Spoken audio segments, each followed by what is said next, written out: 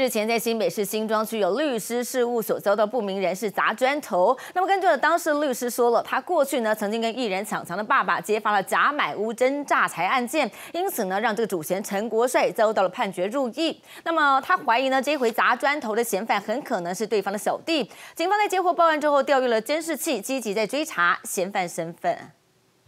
入狱。四手里拿着砖头，另一个人紧跟在后。他们鬼鬼祟祟地走向一间律师事务所。突然间，男子奋力地把砖头砸向事务所，玻璃虽然没破，但仍旧传出巨响。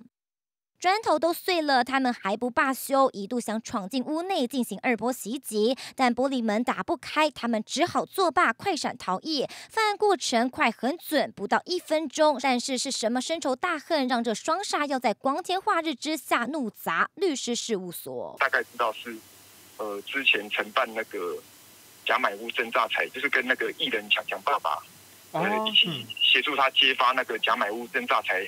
案件的那个主谋那边的小弟，根据黄律师前后比对，怀疑这是一起新旧仇恨交织而成的警告事件。当初他与艺人抢强爸爸揭露诈骗嫌犯陈国帅假买屋真诈财的房屋纠纷，陈国帅遭判决需入狱后已经潜逃。十月六号，有不明人士来表示要进行法律咨询，想要约黄律师出去，但黄律师询问案件细节时，对方一时回答不出来，突然表示不咨询了。但过不到。到一小时，却又突然打电话来，表示想要法律咨询。黄律师因为只处理反诈骗以及不动产诉讼案件，因此选择拒绝。没想到十七号就有人直接找上门砸砖头警告。黄姓报案人称有两名不明人士持砖头，我丢掷其经营事务所强化玻璃，玻璃没有破，我已向警方提告。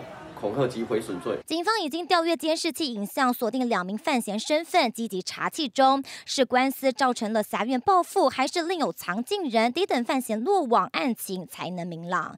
记者赵荣轩新北报道。